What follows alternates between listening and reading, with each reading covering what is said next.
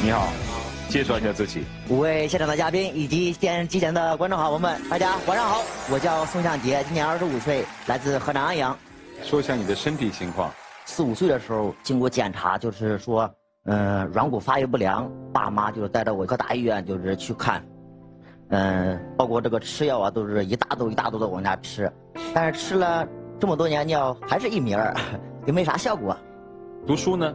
读书读到初中毕业之后不上学的时候，家里的父母都说，嗯，干点啥吧，就是，嗯，重活是干不动。完了就是我爸妈给我报了一年的电脑，学了一年。呃，完了那个校长就说，呃，这个管分配工作，我的那些就是同学他们都找到工作了，唯独我，由于这个身高的原因。人家老板不要，不要这也没办法，回家吧。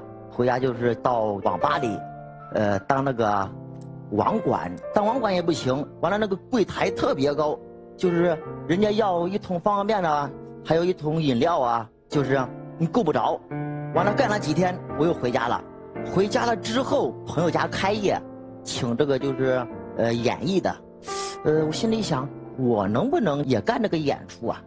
当时就是跟团长说一下，但是我那时候挺腼腆的，我跟我朋友说，让我朋友过去给我壮壮胆儿。呃，我朋友过去了，看就是看我兄弟能跟你干不呢？那团长也挺好的，呃，说行，你给我走吧。嗯，一走就是八年，直到现在。每当就是站到舞台的那一瞬间，我就非常的自信。嗯嗯，非常的快乐啊，不怕看台下的眼光。我不怕啊。他们愿意咋看咋看无所谓。我现在走在大街上，就是回头率百分之百，嗯，我已经习惯了。假如说我走在大街上，哪一天就是没有人看我了，我觉得还不得劲儿了。那唱歌除了给你收获了自信之外，还收获了什么？收获更大的其实就是我认识了媳妇儿啊。他也是你同一个表演单位的吗？对，他是跳舞的。他是跳舞的，你描述一下你的妻子呗。嗯，她吧就是温柔，嗯，就是一般人，嗯，身高吧就是正常的个子，嗯，刚开始也不是就是说那种一见钟情，哎，我觉得哎非常漂亮，我就喜欢呢。后来慢慢慢慢慢就是觉得挺好的，嗯。怎么表白的？怎么追求的呢？有一天晚上，发信息，我就说，我有一个事儿，我想跟你说说。他说什么事儿啊？我就说，哎，算了吧，还是不说了吧。完了，到第二天，我又说，我说我有一个事儿，我想跟你说说，但是我不知道怎么去说。他说你就说呗，有啥说啥呗。嗯，我说，哎，算了吧。隔三差五来这这么几下，完了我终于鼓起勇气，我就发了三个字儿，我说我喜欢你。发完之后，我这个心终于捞定了。我说他同意也好，不同意也好，反正我说出来了。完了他没给我回，第二天又发信息，他说我也喜欢你。我说好了，成了，这下成了成了，这就成了啊。她叫什么名字？玲玲，掌声有请玲玲。好漂亮啊！大家好，我叫吴玲玲，来自河南安阳。刚才听见了我们的谈话吗？嗯，听到了。她说她一开始也没怎么看上你，你也就是一般人对你开始是没有感觉的，后来才慢慢慢慢的向你打开心扉。回家别收拾我啊！别收拾你。啊，你看看这男生什么？刚开始嘛，没有在一起演出，因为那时候还没有开始谈嘛，就天天给我发短信。嗯。一直每天不管晚上演出演到两点三点，都会给我发信息：吃饭了吗？累不累？嗯，每天到现在都这样。你介意他的身高吗？从一开始就从来都不介意。嗯，从来不介意他的身高。我感觉我其实我挺佩服我媳妇的，包括就是俺们两个走在大街上。呃，就是那种异样的眼光，指指点点啊，就是我媳妇儿，表示那种乐观啊，非常开心，呃，就是无所谓的感觉，啊，其实这一点，我感觉我媳妇儿，你一看这姑娘就是老老实实、本本分分一姑娘，你父母当初应该也是反对的，这是人之常情嘛，对对不对？对，当时父母也不支持，坚决非常的反对，最后没有办法了，我们两个人就先去领了证，就家里人也不知道。在俺们这边就是办的酒席，没他那边没有办，嗯，后来生了孩子之后，才告诉了老丈母娘，嗯，岳父岳母。你偷了户口本啊？嗯。这主意是谁出的？啊，我出，我出，我出来了。现在知道错了，错了赶紧先道个歉。嗯，爸妈错了啊，妈，错了错了。就有了孩子之后，就是觉得自己做错了。嗯。养育了我二十年也挺不容易。嗯。孩子怎么样？孩子，这个健康吗？孩子其实。遗传了我的基因，那为什么产检的时候没检查出来吗？在怀孕之前做过检查，嗯，看能不能要一个健康的宝宝，然后做完检查他们说可以，然后检查完之后就回家了，然后要完小孩之后，大概有两年吧才发现的，就是孩子刚生下来看不出来，长了就是两三岁的时候，就是现在看出来这个孩子这个。胳膊腿就是有点弯，就是走路吧，就是跟我有点相似。当时吧，我脑子就是嗡一下，哎呀，我说完了完了完了，估计是随我了。上医院检查检查吧，我这个基因跟他那个基因一相对，他携带我这个基因。当知道确诊这个消息的时候，你是什么心情？觉得就是挺对不起孩子的。要是当时检查出来，就是说这个孩子遗传我了，也许我就不要了。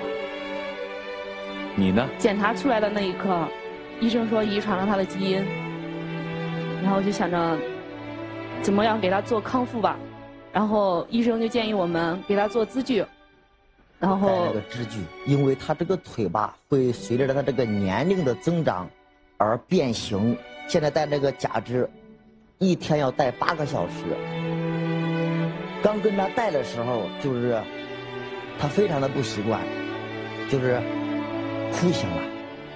妈妈，妈妈，就是说别带了，别带了，把它带了吧。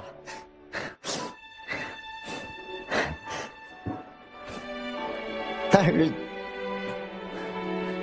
孩子哭，大大人也哭。嗯，带一晚上，一晚上，每天晚上要带八个小时，带那个字据，因为他不能打弯他的腿不能打弯一晚上都要带，不习惯，他又哭。不能弯曲，这个腿就是一直绷着，一直绷着。那孩子现在怎么样？矫正的怎么样？可以走路，但比刚开始的时候好一点。他那个支具需要半年换一次，然后两个月去复查一次，看看就是两个月会不会好一点。还有他那个脚，家长带支具，还要带矫正那个鞋垫，那个他那个脚也是往里边就是勾，就是垫了这个鞋垫之后会往外就是纠正一点。你父母知道孩子的情况吗？我父母知道。他们怎么说？他们也。四处打听，看能不能给他更好的治疗，就觉得孩子，嗯，已经遗传他了，不接受也没有办法。事实上，我们会认为当初父母反对，但是当父母一旦接受了之后，他们的承受能力比我们强得多，比我们更坚持。既然已经是一个既定事实，他们就愿意为你们这个小家去付出，对吧？现在这位嘉宾呢，他画的画呢？呃，猛一看呢，我们看还是挺和谐，一家三口手牵手。但是呢，我们仔细的看这幅画里边这三个人呢，他们的眼神都是向下的，并且都是不快乐的。所以通过这幅画呢，投射出呃这位嘉宾目前家庭状况呢，有一点点忧虑，说明他压力大，所以特别提醒他要自信向上，阳光积极起来。是你的幸福心愿，对不对？嗯，来说说你的幸福心愿。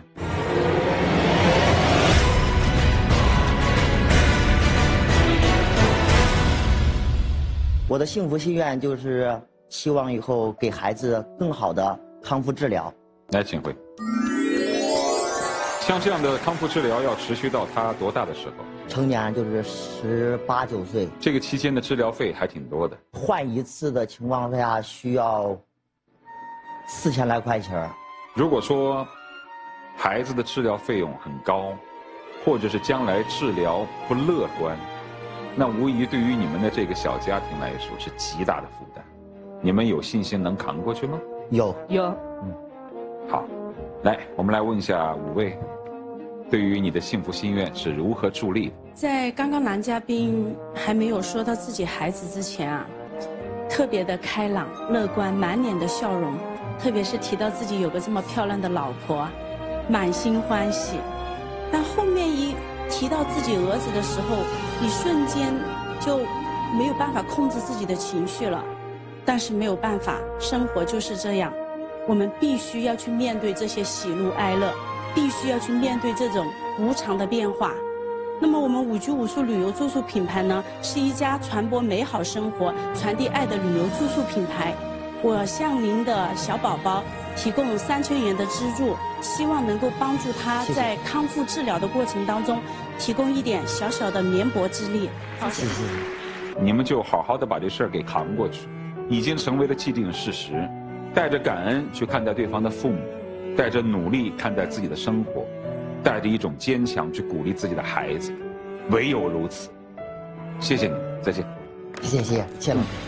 或许命运有时并不公平，或许生活时时会有难题，但是只要不放弃对幸福的追求，不放弃对爱的执着和努力，相信生活一定会越来越美好。